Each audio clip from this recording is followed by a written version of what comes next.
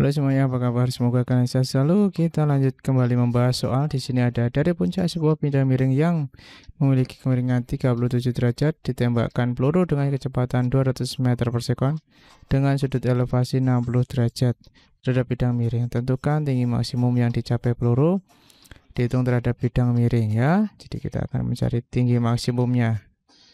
Oke, kita tulis dulu yang diketahui.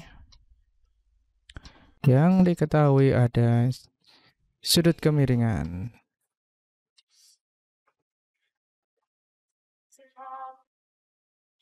Alfa sama dengan 37 derajat. Kemudian ada sudut elevasi. Beta sama dengan 60 derajat. Kemudian ada V0 itu sama dengan 200 meter per sekon. Gravitasi kita pakai 10 meter per sekon kuadrat ya, walaupun tidak diketahui. Kemudian yang ditanya itu adalah Y max, ketinggian maksimum. Berapa meter? Oke, kita langsung jawab saja. Kita akan cari T-nya dulu. T-nya bisa dicari dengan V0 Y ya. V0 Y itu adalah V0 sin beta dibagi gravitasi yang mempengaruhi adalah ini ya. G cos alpha. Oke, kita sudah dapat ini T-nya ya. Sekarang di sini kita akan cari Y max.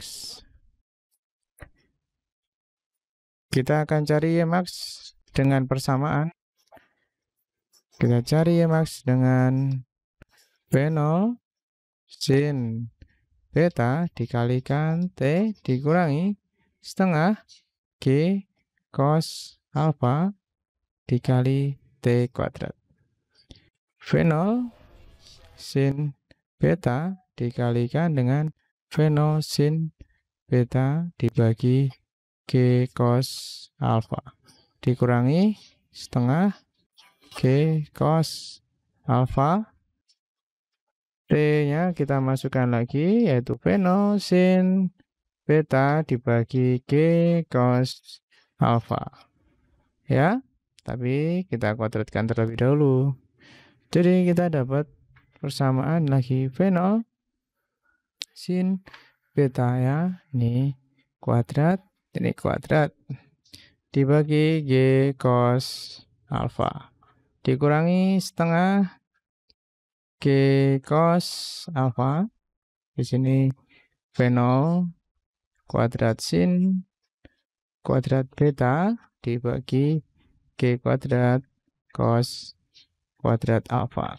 Nah, kuadratnya kita eliminasi. Ya, coret. G-nya kita eliminasi. Oke, kemudian kita dapat persamaannya ya. Di sini ada V0 kuadrat sin kuadrat beta per G cos alpha. Ini berarti satu ya.